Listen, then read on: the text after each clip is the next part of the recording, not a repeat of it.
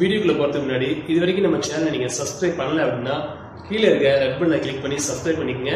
கூடவே ஒரு bell icon வரும். அதையும் நீங்கள் கிளிக் பண்ணிட்டீங்க அப்படின்னா நம்ம சேனலில் அப்லோட் பண்ணிய வீடியோஸ் நீங்கள் மிஸ் பண்ணாமல் பார்த்துக்கலாம் சரி வாங்க வீடியோக்குள்ளே போவோம்.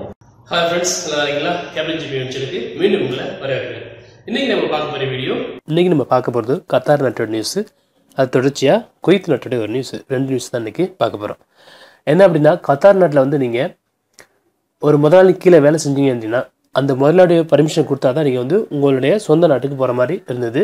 இப்போ அந்த சட்டத்தை வந்து கத்தாறு திருத்தம் பண்ணிட்டாங்க. எப்படி அப்படின்னா உங்களுடைய முதலாளியுடைய பர்மிஷன் இல்லாமல் நீங்கள் உங்கள் நாட்டுக்கு திரும்பி போகலாம் அப்படின்ட்டு. எதுக்காக அந்த சட்ட திருத்தம் வந்துச்சு அப்படின்னா கத்தாரில் வந்து வர்ற இருபத்தி ரெண்டாயிரத்தி இருபத்தி ரெண்டில் வந்து வேர்ல்டு கப் மேட்ச் வரப்போகுது. அதுக்காக வந்து அவங்க கட்டுமான பணிகளில் வந்து ரொம்ப பேர் பணி செஞ்சுக்கிட்டு இருக்காங்க. ரொம்ப பேர் உயிரிழப்பு நடந்திருக்கு ரொம்ப இதெல்லாம் நடந்திருக்கு.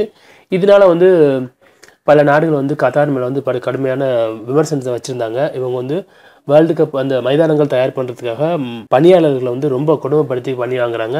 நாட்டுக்கு விடுறதில்ல அந்த மாதிரி ரொம்ப இது வந்தனால கத்தார் வந்து ரொம்ப கடுமையான ஒரு இக்கட்டான சூழ்நிலைக்கு வந்தனால இப்போது அந்த சட்டத்தை கொஞ்சம் திருத்தம் பண்ணிட்டாங்க. இனிமேல் வந்து எந்த நாட்டுக்காரங்களாலும் சரி நீங்கள் வந்து அந்த முதலாளியுடைய பர்மிஷன் இல்லாமே நீங்கள் லீவில் போகலாம் வரலாம். இந்த கட்டுமான பணியில் வந்து அதிகமாக பாதிக்கப்பட்டிருக்குதுன்னு பார்க்க போனீங்கன்னா நேபாள் நாட்டை சேர்ந்தவங்களும் நம்ம இந்தியா நாட்டை சேர்ந்தவங்களும் தான் அதிகமாக பாதிக்கப்பட்டிருக்காங்க. என்ன அப்படின்னா அவங்க தான் அதிகமான வேலையில் அங்கே அந்த கட்டுமான பணியில் ஈடுபட்டாங்க அப்படின்னு சொல்லி சொல்லியிருந்தாங்க. அதனால் வந்து கத்தாரில் வந்து பணிபுரியவங்களுக்கு வந்து இந்த செய்தி வந்து கொஞ்சம் சந்தோஷமான செய்தியாக இருக்கலாம் நான் நினைக்கிறேன். அடுத்து நீங்கள் பார்க்க போனீங்கன்னா கொய்த்து. கொய்த்தில் வந்து டிரைவிங் சம்மந்தமாக வந்து பல சட்டத்திட்டங்கள் இருக்குது பெரும்பாலும் அரபு நாட்களில் எல்லா கொஞ்சம் கடுமையான சட்டங்கள் வந்துக்கிட்டே தான் இருக்குது.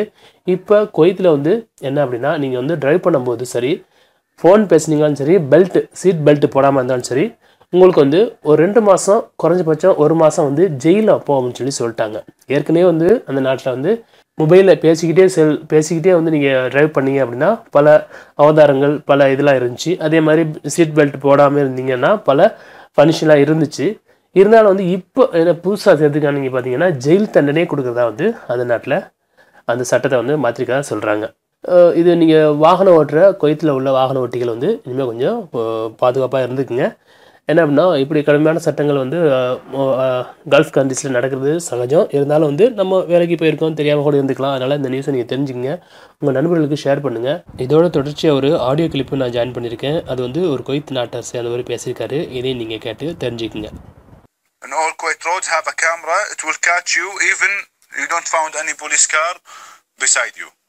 The seat belt you must wear it, the driver and who's sitting beside the driver.